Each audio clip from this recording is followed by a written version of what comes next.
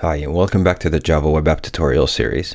So far in this series, we've built a CRM application complete with login and authentication through Spring Security, a CRUD view where we can view and list contacts in our system, and a dashboard where we can see stats over them. In this video, we want to turn this application into a progressive web application. Essentially what we want to allow our users to do is install the application on their desktop or on their phones, and we want to be able to customize the offline experience. So if people try to open up this installed application while they're offline, or if their connection happens to go offline as they're using the application, so that they can get a branded experience and feel like the application is working throughout the entire thing. And again, I want to remind you that there's a text version of this tutorial up on vaadin.com. So be sure to check it out so that you can find all the code. You can copy paste it from there. Also, if you're just joining the series right now, you'll be able to find a link to download the sources from the step that we're at right now so you can follow along. Okay, so if you're not familiar with progressive web applications from before, there are essentially two things that are needed for us to turn this application into a progressive web application.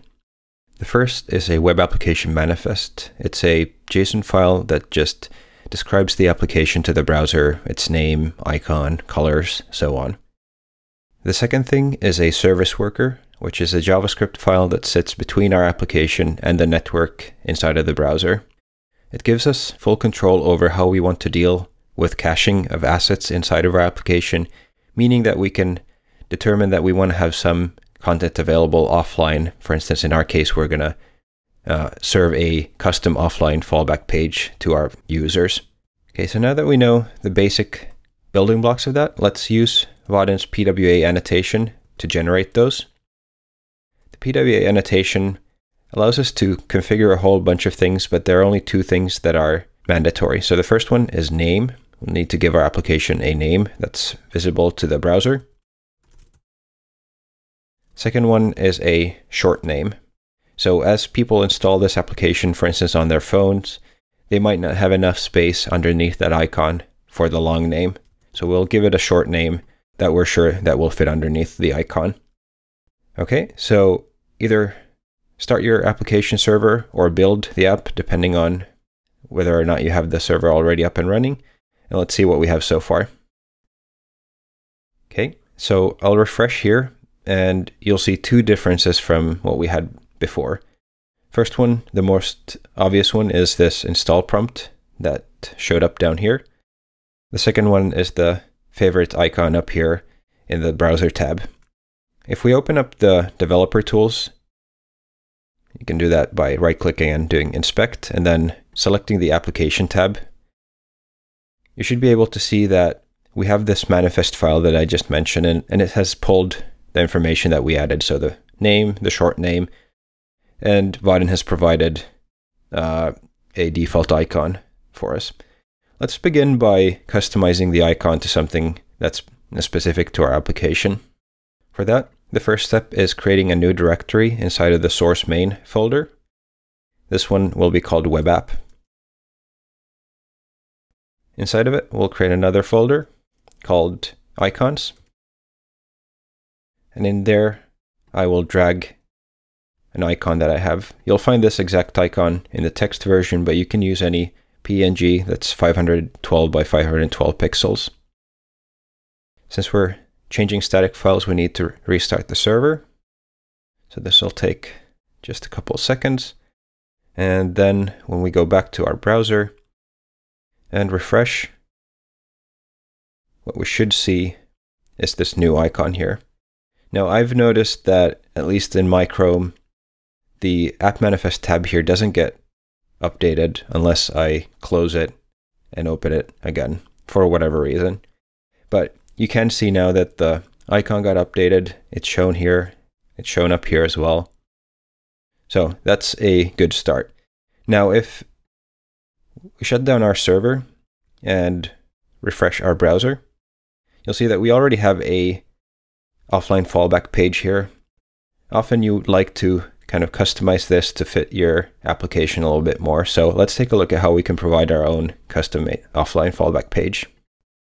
We can override the offline page by creating a offline.html file in this web app directory. And in this HTML file, I'll provide my own implementation. Again, you can find this in the text version if you want to use the exact same one.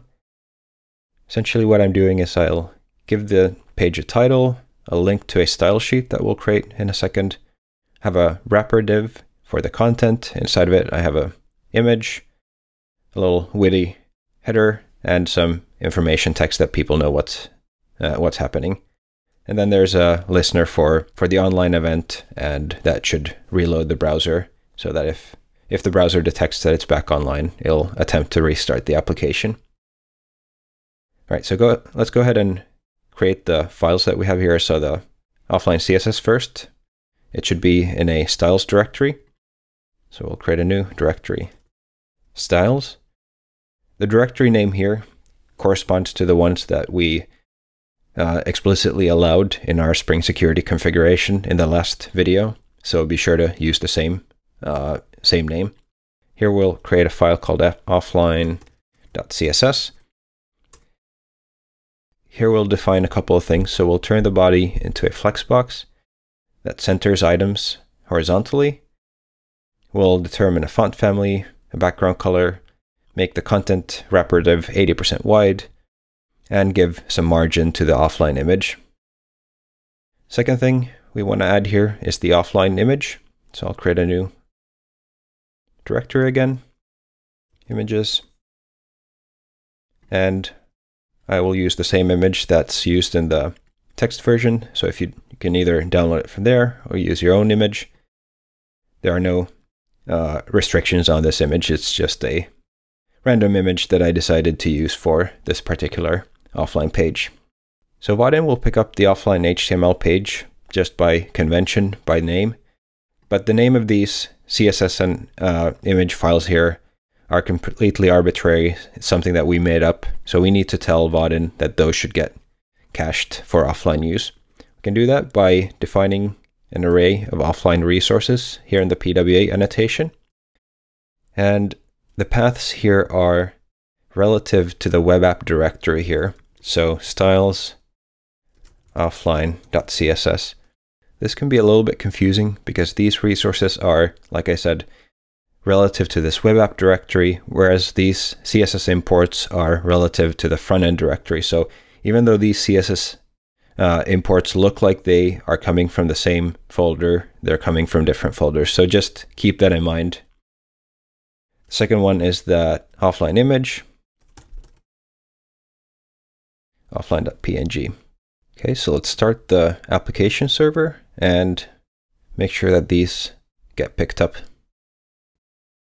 Okay, so we'll reload the browser. You can see that we have the icon visible here, here. If we open up the inspector again, we'll be able to see the icons here. And we should be able to see that there is a service worker that's up and running. So that's provided by Vaadin. But what's interesting though is going into the cache here and just verifying that we have the offline PNG, the offline HTML looks correct and so on. So for instance, right now, I can see that the offline HTML is still not the one that we uh, created because we can see that there's a new service worker here waiting to activate. Sometimes it's easier to just go to clear storage. If something's kind of out of sync at any point, just clear all the data, refresh the page, just make sure that you have all the latest stuff here. So now we can see that we have the HTML page that we defined ourselves. We have the manifest and everything here. Okay, so I'll close the dev tools here. So now that we've defined all the PWA stuff, our users have two different ways that they could install the application. They could use the Vaadin provided install prompt down here, or they could use the browser uh, provided install button up here. Now, personally, I don't like showing this to my users just because it's a little bit intrusive. And instead, I instruct them to use this one up here. It's a little bit cleaner. It's up to you how you want to show this to your users, but I'll show you how to disable this just in case you don't want to have it popping up there You can use enable install prompt in the PWA annotation and setting that to false. So let's build that and go back to the browser. Let's refresh. And now you can see that we don't have the prompt down here, but it still shows the plus icon up here, allows us to install it. Let's go ahead and install this. Now what you can see is that we have now a completely own window for the Vaadin CRM. Has its uh, title up here in the in the title bar. Its icon is down here in the dock. And we can use the application the same as we have been able to do before. Finally, let's shut down the server and see that the offline fallback works. So refresh this. And now you can see that we have a custom fallback page that's specific to our application. So there you have it. We've taken our CRM application and we've turned it into an installable progressive web application. Be sure to join me in the next video in the series where we're going to cover an important topic of testing. We're going to take a look at how we can build tests both for testing the logic of our application as well as building tests that actually exercise the entire end-to-end -end application by running browser tests. Subscribe to the channel and enable those notifications just to be sure that you don't miss that video when it's coming out. Thanks for watching, and I'll see you in the next video.